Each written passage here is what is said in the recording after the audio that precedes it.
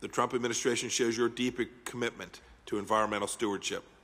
In fact, it's one reason Chinese activity, which has caused environmental destruction in other regions, continues to concern us in the Arctic.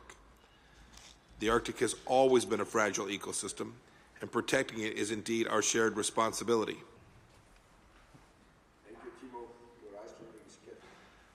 Collective goals, even when well intentioned, are not always the answer.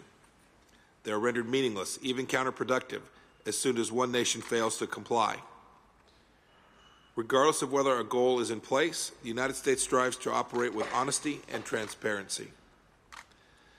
Though we are not signing on to the collective goal for reduction of black carbon, America nonetheless recently reported the largest reduction in black carbon emissions by any Arctic Council state.